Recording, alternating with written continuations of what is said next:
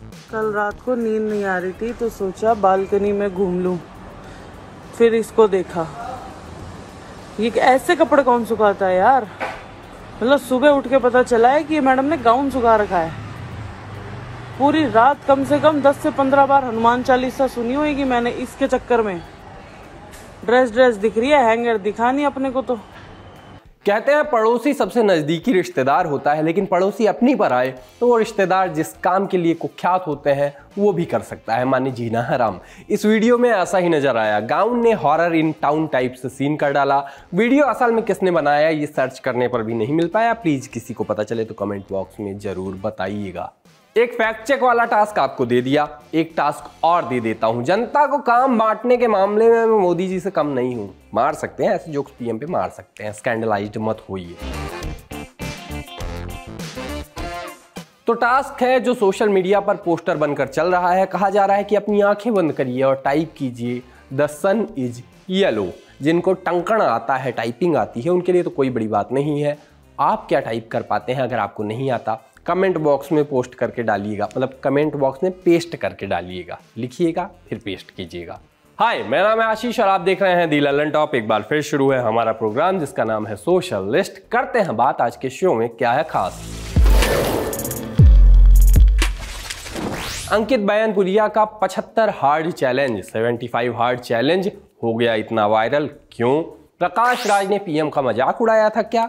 भारी पड़ गई बात, फिर क्या सफ़ाई दी? घोड़े घूमे, खुले खुले गधे खा रहे रसगुल्ले और पिक ऑफ़ द डे में करेंगे बात योगा से आपकी समस्या हरने वाली यूज़र की। सबसे पहले करते हैं बात इंस्टाग्राम पर आजकल भयानक वायरल यूज़र की। नाम है उनका अंकित सिंह और अकाउंट है अंकित बयनपुरिया शायद यही गाँव का नाम हो, उस कारण से उनके अकाउंट का नाम हो। अगर मैंने गलत पढ़ा हो तो माफ़ करिएगा।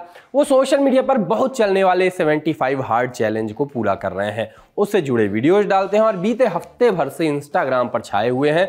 इसका कारण बस ये नहीं है कि उनका हर वीडियो बीस, तीस या 40 या कुछ वीडियो करोड़ों लोग, वो 20 30 40 लाख की बात कर रहे थे, या कुछ वीडियो करोड़ों लोग देख रहे हैं उनके वायरल होने का कारण है कि अब उनके वीडियोज़ पर भारी मीम भी बन रहे हैं। और ये वीडियोज़ उनका मज़ाक नहीं उड़ा रहे हैं, उनके द्वारा की गई फनी कमेंट नहीं, उनके द्वारा की गई कमेंट्री पर फनी कैरेक्टर्स के वीडियोज़ लगा के मज़े लिए जा रहे हैं। आगे बढ़ने के पहले आपको 75 हार्ड चैलेंज के बारे में बता दें। इंटरनेट पर ये चैलेंज इन दिनों खूब चल रहा है। इसमें 75 दिनों के लिए चैलेंज लेने वाले को कुछ काम करने होते हैं और इनमें से कोई काम छोड़ा नहीं जा सकता। जैसे एक पर्टिकुलर डाइट फॉलो करनी होती है, पैंतालीस पैंतालीस मिनट के दो वर्कआउट करने होते हैं, जिसमें एक घर के बाहर जाकर करना होता है। हर दिन एक नियत अमाउंट में पानी पीना होता है, पीना ही होता है।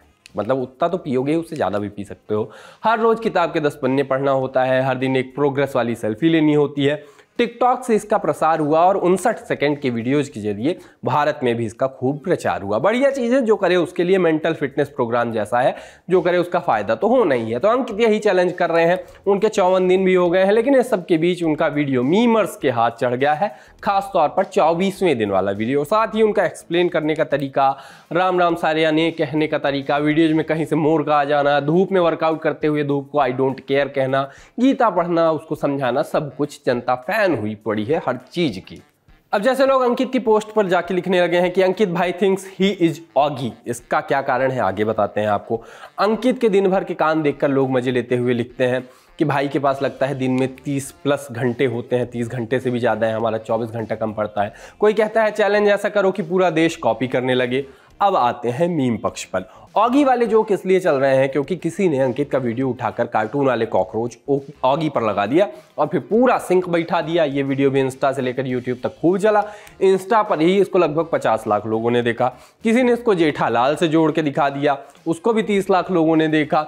मीम्स से पीएम्स भी कहाँ बच पाए हैं? पीएम मोदी के योगा और एक्सरसाइज के फुटेज लगा के उन्हें भी 75 हार्ड चैलेंज करा दिया गया। पॉलिटिकल जोक इसमें यह है कि पीएम मोदी के साथ वालों को पचहत्तर तक हार्ड नहीं पड़ता है। पचहत्तर प्लस वालों के लिए हार्ड चैलेंज है।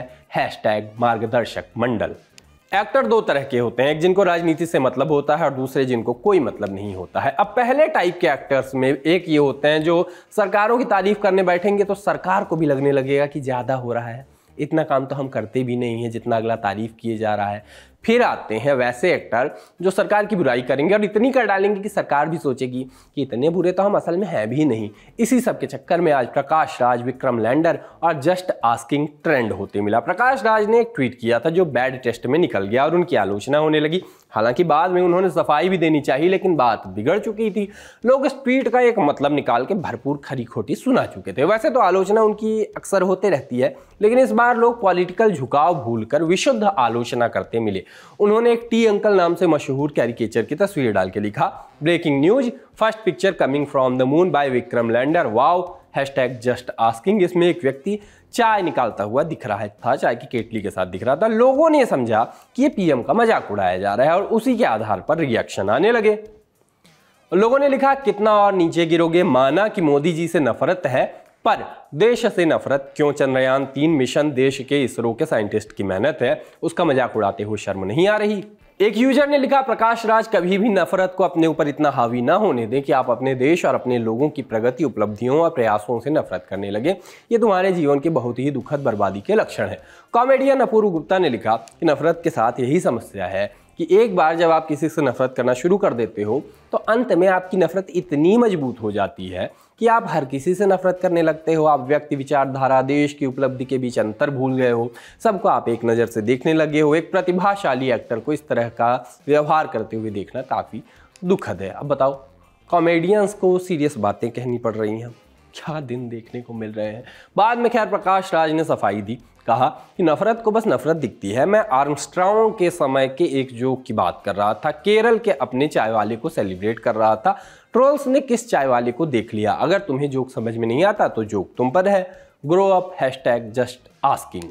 घोड़ों को नहीं मिल रही घास, गधे खा रहे च्यवनप्राश वाली कहावत आपने सुनी होगी, पर कभी ऐसा देखा नहीं होगा। ऐसा एक ही क्षेत्र में आप देख सकते हैं। कौन सा क्षेत्र है वो मैं नहीं बताऊँगा। क्योंकि मुझको नहीं पता, आप बेहतर जानते होंगे। चाँद प्रास ना सही, गधे गुलाब जामुन खाते दिखे हैं। अजब एमपी से ही ऐसी खबर और वीडियो आ सकता था। वहीं के मंदसौर से ऐसे वीडियो आए हैं। टोटका है बेसिकली अच्छी बारिश होने की खुशी में मंदसौर वार्ड क्रमांक 26 के इलाके में ये सब काम हुआ है। लोगों की ऐसी मान्यता है कि बारिश हो जाए, उसके बाद गधे को कुछ अच्छा खिलाओ। पहले मान्यता मानो और फिर बारिश होने पे गधे को कुछ खिलाओ, थोड़ा मैं कन्फ्यूज़ हो गया, पर ऐसी ही कुछ मान्यता है। तो लोगों की मान्यता पर क्या ही कुछ कहना, लेकिन गधों की तो मौज हो गई। गधों की ही तो मौज है आजकल। सोशलिस्ट में अब बारी है पिक ऑफ़ द डे की और आज का हैंडल है योगिक अंडरस्कोर हैक्स इसके पीछे हैं स्निग्धा भारद्वाज। पहले इंडियन एयरफोर्स में थी, अब सर्टिफाइड योगा टीचर हैं। अपने हैंडल पर योगा से जुड़ी जानकारियाँ और हर्बल चीज़ों से जुड़ी ढेर सारी जानकारियाँ शेयर करती हैं। नींद ना आए, आलस आए, पीठ में दर्द हो स्क्रीन देखते देखते आँखें पिराने लगे, इन सब का निदान बताती हैं। योगा के ज़रिए काफ़ी अच्छी जानकारी है, आप देख सकते हैं इनके हैंडल पे। बाकी आज के सोशलिस्ट में इतना ही। कल होगी फिर से मुलाकात। तब तक के लिए हम चले। टाटा।